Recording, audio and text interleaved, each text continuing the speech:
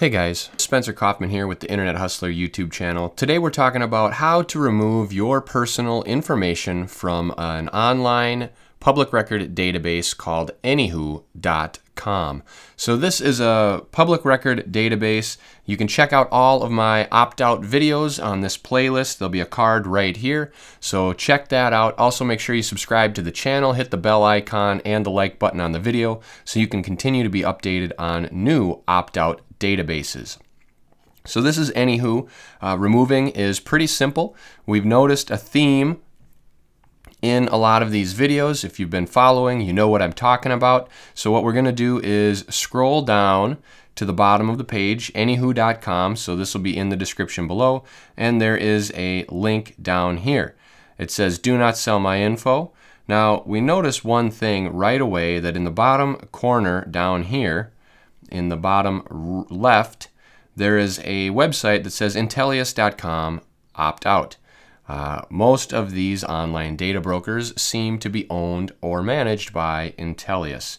Uh, nevertheless, even though we have already done an opt-out video on Intelius and on many other sites that run through Intelius, uh, we're still going to continue with the opt-out procedure for this website. Now, the other thing you notice is right here it says privacy policy of Intelius, so we know it's managed by them. Nevertheless, let's do this open in a new tab. This link will be in the description below as well.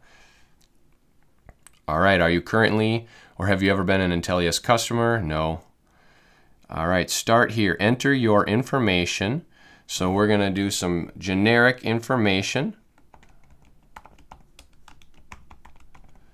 State, all of them we will do in Alabama. All right, email address. This is important. I would never recommend using your personal email address. Definitely get a fake email address. Now, you have two options. You can either use a fake mail generator, which is a free temporary email. That's what I usually do. Uh, I have my opt out at Army Spy, so I copy that and then paste it in there, receive the verification email, and that's it. Or what you should do since you have a lot of these you're going to be following. I use this, this fake email generator because I pay a service to keep my information off of many websites. That's why we're not using my name in here because we're not going to find it. That service, uh, you could check out the playlist in a card up here.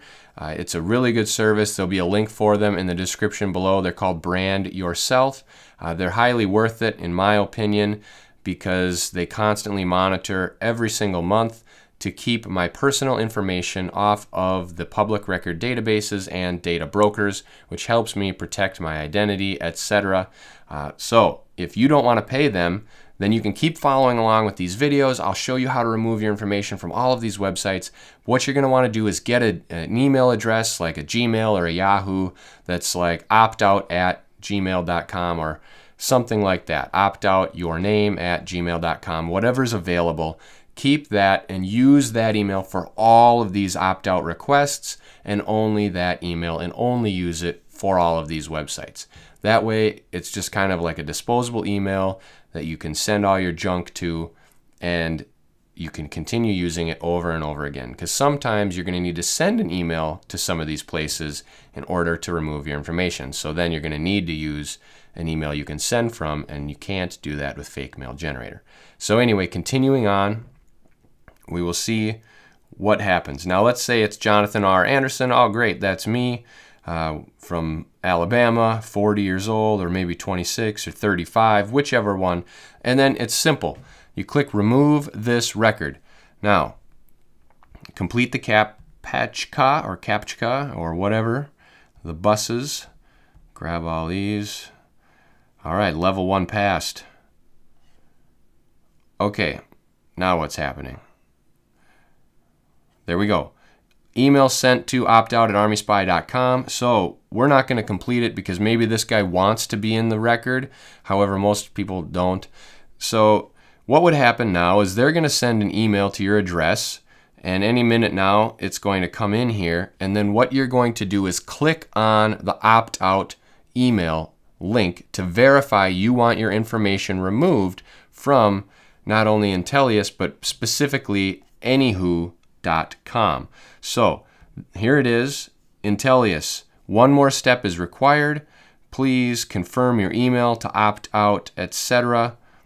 So we're not going to do this because I, I don't want to remove this person's information without their consent, but this gives you the idea and the exact uh, process and procedure to remove your personal information from the Anywho public record database. So hopefully you found this video helpful. Please like the video if you did. In addition, I hope you subscribe to the channel. Also, if you subscribe and like the video or have any questions, please comment below. I like to see all the comments and I really enjoy uh, helping you guys out. That's the purpose of these videos. Also, if you're interested in paying a service to do it for you, check out the link in the description below. I use them and I think they're very good, uh, but you don't have to do that. You can save the money if you want to continue following this channel because we have a ton of opt-out videos that are going to be being posted online. So make sure to subscribe to the channel.